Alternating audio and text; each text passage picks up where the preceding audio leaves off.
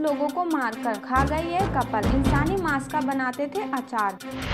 रूस में एक कपल के बारे में चौंका देने वाला खुलासा हुआ है। यह कपल इंसानों का मर्डर करने के बाद मीट घर में रखते थे और यह मीट को बड़े फ्रीजर में स्टोर कर लेते थे और इसे कई दिनों तक खाते थे। 18 साल से जेल में बंद इस कपल ने 30 लोगों की हत्या कर उनका मांस खाने का जुर्म कबूल किया है। इस कपल को उन्नीस सौ निन्यानवे में गिरफ़्तार किया गया था। जब इनके घर की तलाशी ली गई तो घर से आठ लोगों की बॉडी मिली थी। आरोपियों को इंसानी मांस खाने की भूख इतनी थी कि उन्होंने इंसानी मांस का अचार भी बना रखा था। पुलिस की जाँच से सामने आया कि नतानिया पेशे से नर्स थी। 1999 में एक महिला के गुम होने की पुलिस को शिकायत मिली थी और इसी दौरान कई और लोगों ने भी गुम होने के मामले सामने आए। पुलिस की पूछताछ और जाँच के बाद नातालिया शक के घेरे में आ गई थी और जब पुलिस ने नातालिया के घर छापेमारी की थी तो फ्रिज और किचन से इंसानी मांस मिला था और पुलिस को मांस काटने के औज़ार भी बरामद किए थे। पुलिस ने दोनों को हत्याओं के जुर्म में अरेस्ट कर लिया। पुलिस की हिरासत में रहकर भी उन्होंने अपना जुर्म कबूल नहीं किया था। 18 साल बाद अब जाकर नातालिया ने यह बात स्वीकार की है कि उन्होंने करीब 30 लोगों की हत्या कर उनका मांस खाया था। ये थी एस